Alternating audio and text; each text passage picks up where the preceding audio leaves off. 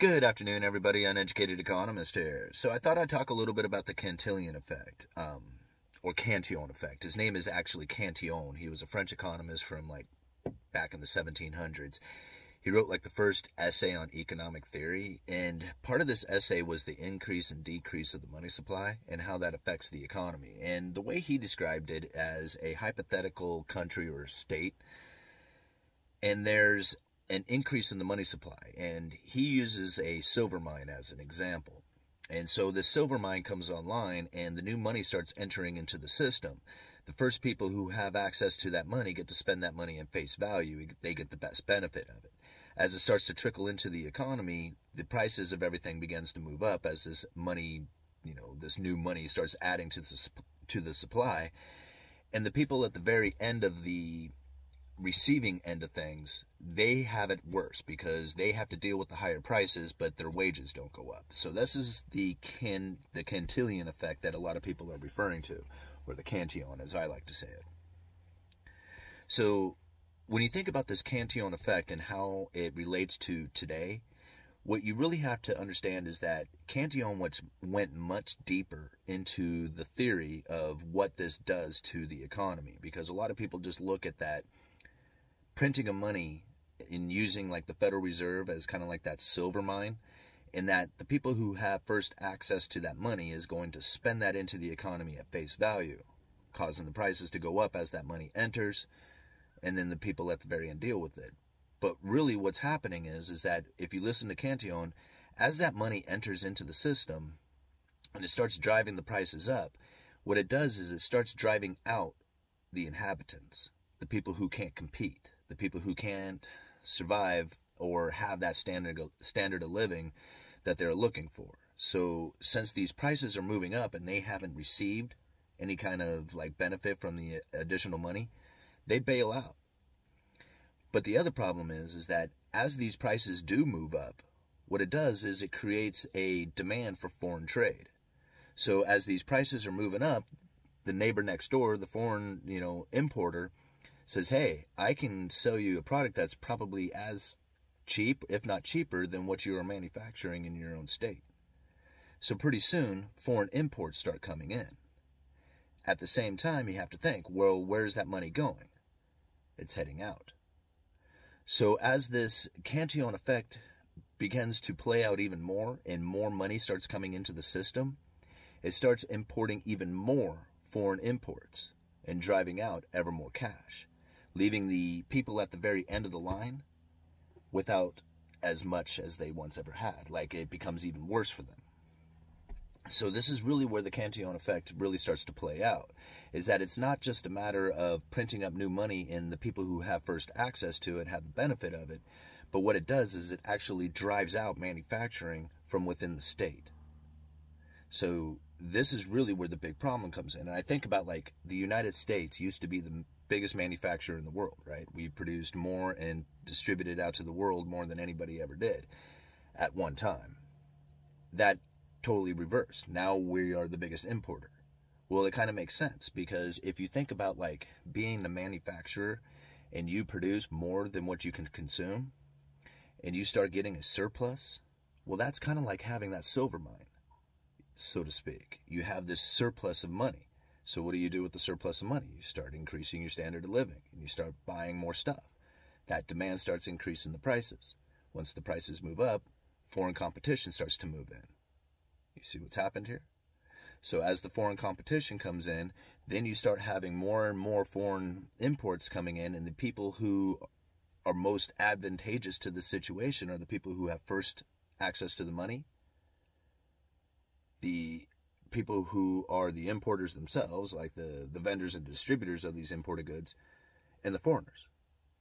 And the money just leaves the country, leaving less money circulating within the, the state itself for those who are at the very end to try and compete for. This is like really where the Cantillon effect starts to play out.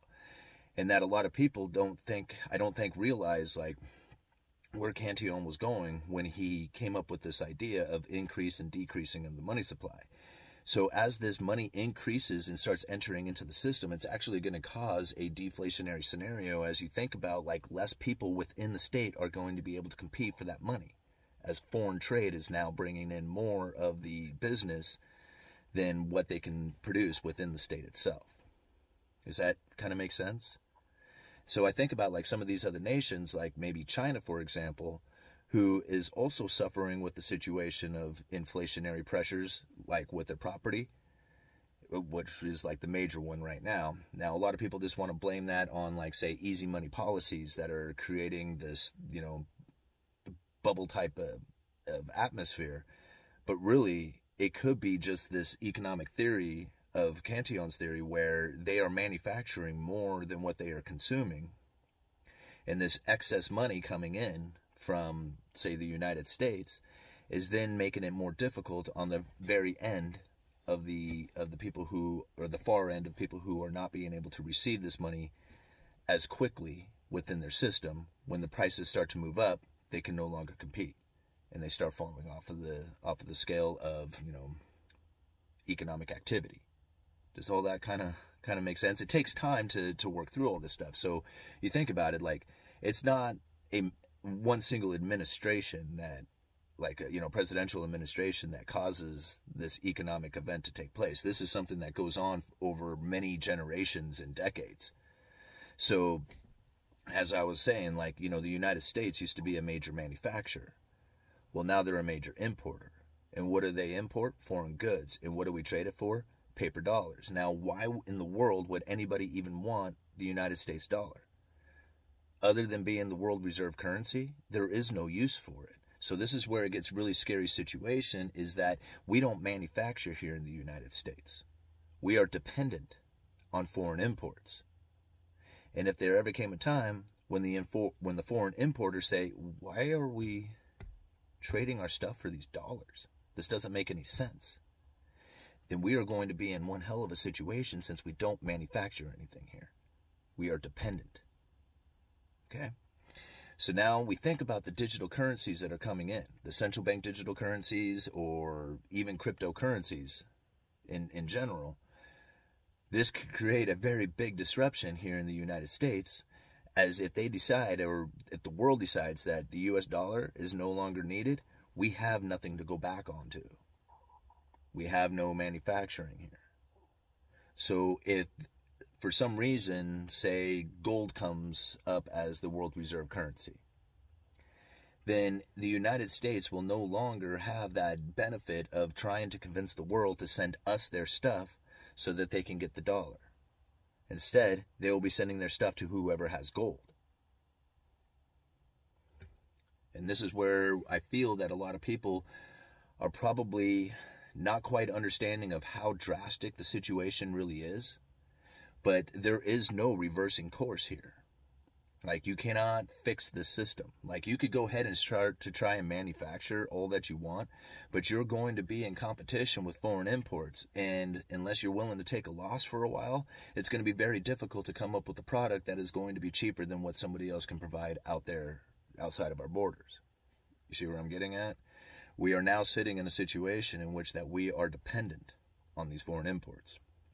And now it makes me think, it's like, okay, so if the people who this system is most advantageous for are the people who have first access to the money, so like the Federal Reserve and their cronies, the people who are importers and the foreigners themselves who are importing into the United States, if they're the ones who have, you know, the benefit of the system, everybody else is going to suffer. And that makes me wonder why it is that they are pushing for this UBI as much as they are, this universal basic income. Because they know that if there ever came a situation in which that the world decided that they don't want the US dollar, we are screwed. So instead, they are going to give people money so that they can continue to buy those foreign products. Because we're not manufacturing them ourselves. And since we don't really do anything to earn a living, now what? See, these are some of the things that I think about when I when I read the Cantillon essay. That's what I thought about. Is that the United States once was a manufacturer, now they are an importer. And because of that, and having the world reserve currency, we are now stuck in a situation that we have to continuously import foreign goods. And if we do not have a manufacturing base that can do it, that can produce the money. Like, you know, if you, you got to have a job in order to make money, right? But if you don't have a job, what do you do? Well, we got the world reserve currency, and I guess the manufacturer of money, like the mine, so to speak, like that silver mine, but we don't have a silver mine, we got the Fed. Well, the Fed can print up money, right? Be that miner and just give it to the people. Here you go, helicopter money. Go spend it. Since we're not buying our stuff anyway, we're buying manufactured goods from overseas. Doesn't matter if you just print it up and give it away. See, it's the demand for the dollar outside of the United States that's giving us that ability to do that. So, what happens when you don't? So, that's the big question. How much longer will the world continue to want to use the US dollar as the world reserve currency? You got China. Look at look at the article. Uh, excuse me, guys. Look at the article that I leave down in the description for you guys. It's an article talking about the Chinese central bank digital currency. And it's funny because even in that article, they say, how are they going to get the people to use it? Like, how do you convince the people to just go ahead and start using this central bank digital currency? Well, what they have here, over there in China is two forms of payment, two common forms. Both of them digital. You use your phone. They hardly ever use cash. What they did is applied the central bank digital currency to that app. Now you can either use the money, the regular money like you normally you would, would, or you can use the central bank digital currency. And now what you would have to do is like actually load up the central bank digital currency. And so the question again says, why would anybody do that? What would give you any, ben- any benefit to using the central bank digital currency? Probably none. But if they just give it to you, then you'll use it. And so what they'll do is they take these most common form of digital transferring of money. And like here in the United States, it could apply to say PayPal or Venmo or Cash App or one of these other common, you know, forms of digital transfer of money and just put the central bank digital currency right into that tab. So you can be like, hey, you can just use the central bank digital currency, use the Fed coin, so to speak. And all you have to do is just go to what you normally use anyway and just hit that one button off to the side. There's going to be no issue with trying to get people to use this money. None. So to think that there's going to be like a convincing it's not going to happen. It's going to be so easy to convince the people that they they will beg for it. In fact, it'll probably come during a time of crisis or in my my best guess it's going to be the next recession that you are going to find that the Federal Reserve had all kinds of tools ready for this next recession. And part of that is going to be digital wallets, a uh, recession bond or catastrophe bond. I don't know exactly what they're going to call it, but it's basically going to be a bond issued by the Treasury that the Federal Reserve can, because they can't legally, the Federal Reserve can't legally go right to the Fed and buy bonds. So, or I'm sorry, the Fed can't go right to the Treasury and buy bonds. They have to buy bonds off the primary dealers, which is like the secondary market. But if they come up with like this special bond, like this catastrophe bond, an emergency bond, some sort of like, I don't know, it, it would be like, you know, something that they have already like signed in by Congress. That a particular like GDP falls to a particular level or unemployment rises to a particular level and that the Congress issued out this emergency bond, but they already signed for it a long time ago, so that if this event already occurred, they wouldn't have to go and vote for it. It had already been voted for, so that this could take place. So that's kind of the thing that I see happening, and that they will have it set up so that as soon as the recession hits, we won't even have any choice in the matter. It'll be all these things that are to start taking place, and everybody will all of a sudden realize here's an app that you can download that has all kinds of free money on it. All you have to do is just go and open it up and people will start using it. And next thing you know, we'll have FedCoin in play. We'll be using central bank digital currencies, and most people probably won't even notice that there was a difference. Uneducated economist, you guys let me know.